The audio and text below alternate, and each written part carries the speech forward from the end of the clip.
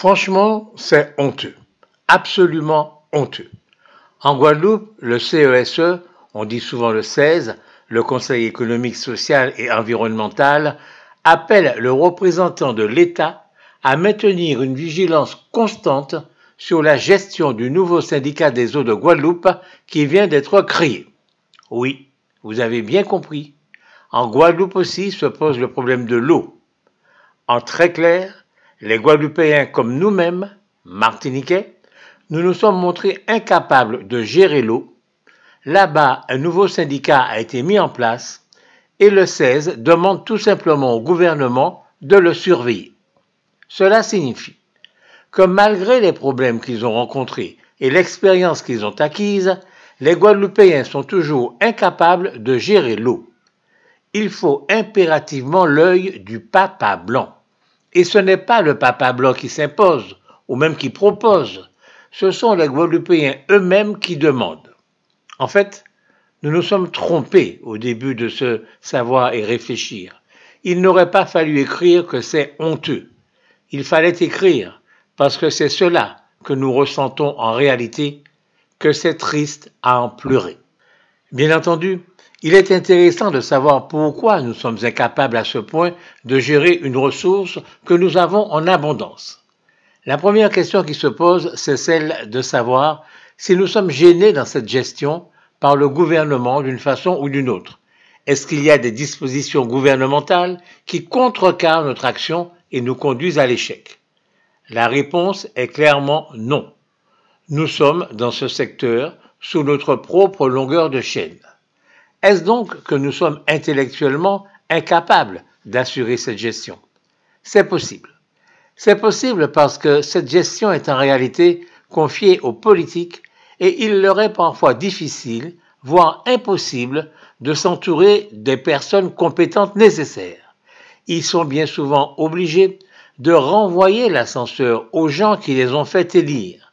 Sans moi, tu ne serais pas là, alors c'est normal que tu envoies mon fils ou ma fille, ou parfois moi-même.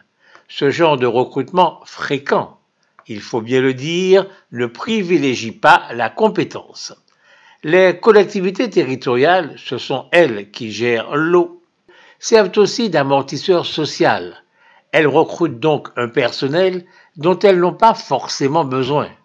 Et ce personnel, ce personnel en trop, lui aussi nuit de mille façons à la gestion de l'ensemble. Il y a aussi la responsabilité. Sommes-nous suffisamment responsables? Est-ce que nous avons le sens du service public?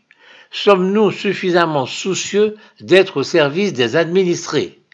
Chacun d'entre nous rencontre souvent des gens qui se plaignent des administrations. Parfois nous aussi.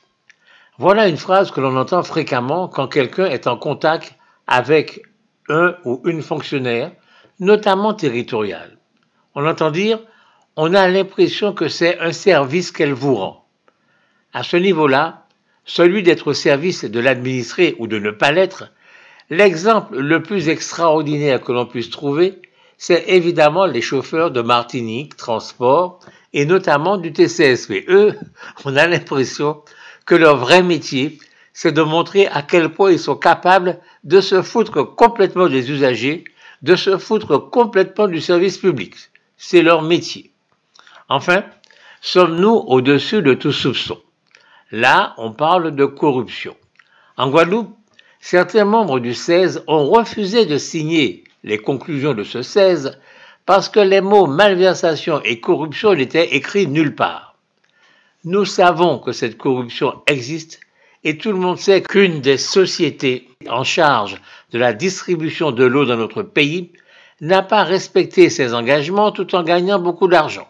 Il faut sans doute lier ce non-respect de ses engagements au mot corruption. Ce que nous disons là, vous le savez sans doute, et les renseignements généraux aussi, et donc le gouvernement aussi. C'est pour cela que, lorsqu'il a fini de parler le plus sérieusement possible avec les ultramarins qui lui demandent plus de pouvoir, il doit, le gouvernement, se retourner avec un petit sourire narquois, persuadé qu'il ne faudra pas longtemps avant qu'on fasse appel à lui et qu'il soit toujours présent, quel que soit le régime institutionnel qui aura été mis en place. Maintenant, le problème est de savoir si nous allons pouvoir lui démontrer qu'il se trompe.